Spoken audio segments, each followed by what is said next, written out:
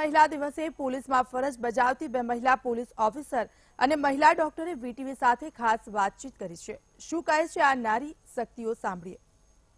સમગ્ર દેશની અંદર આંતરરાષ્ટ્રીય મહિલા દિવસની ઉજવણી કરવામાં આવી રહી છે. ગુજરાતમાં પણ રેલી કરવામાં આવી અને વિવિધ તબક્કે જે છે તે જે જન્મનાર બાળકીઓ છે તેને મુખ્યમંત્રીએ જે છે ભેટ આપી છે. ત્યારે આપણી સાથે જે મહિલાઓ છે જે ખાસ કરીને વાત કરવામાં આવે જે સુરક્ષા દળોમાં છે અને સાથે જ વાત કરવામાં આવે તો ડોક્ટર્સ પણ છે. તેમની સાથે આપણે સીધી વાતચીત કરીએ કે તેમને જે મહિલા દિવસ છે, મહિલા દિવસ પર તેમનું શું કહેવું છે? સૌપ્રથમ જે લેડી ઓફિસર છે તેમને સાથે વાત કરીશું. બેન, ખાસ કરીને જે રીતે મહિલા દિવસની ઉજવણી કરવામાં આવી રહી છે. સમોવડી, પુરુષ સમોવડી બને એવું મુખ્યમંત્રીએ પણ કહ્યું છે.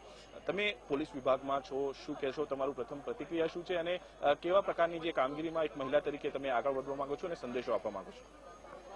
સમાજ માટે સંદેશો એક એ આપવાનો રહે છે કે સરકારશ્રી દ્વારા આવા વિવિધ કાર્યક્રમો કરીને મહિલાઓનું સન્માન કરવામાં આવે છે. મહિલાઓનું પ્રતિનિધિત્વ વધારવાના જે પ્રયત્નો કરવામાં આવી રહ્યા છે, તે ખૂબ જ સન્માનીય છે.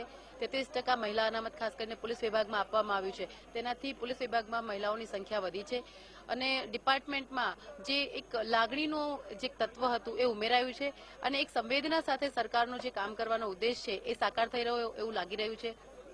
અન્ય એક ઓફિસર છે તેમની સાથે વાતચીત કરશું. મેડમ, ખાસ કરીને જે રીતે સુરક્ષામાં આપ છો, પોલીસ તરીકે આ ફરજ નિભાવો છો જે કામગીરી રહે છે તે પણ ચોક્કસથી બહુ મહત્વની છે અને સાથે ઘરે પણ એક બેલેન્સ કરવાનું હોય છે. હા, મહિલા ઓફિસર તરીકે હું પોલીસ ડિપાર્ટમેન્ટમાં તેમજ મારે સાંસારિક જીવનમાં પણ સમાજમાં બે જ ફરજો હું નિભાવું છું અને બહુ સારી રીતે બખૂબી નિભાવું છું. કરીને જો વાત કરીએ તો જે ડોક્ટર મહિલાઓ છે તેમની સાથે વાતચીત કરશું. જે રીતે મહિલા દિવસની જે ઉજવણી કરવામાં આવી રહી છે ત્યારે તેમનો શું અભિપ્રાય છે?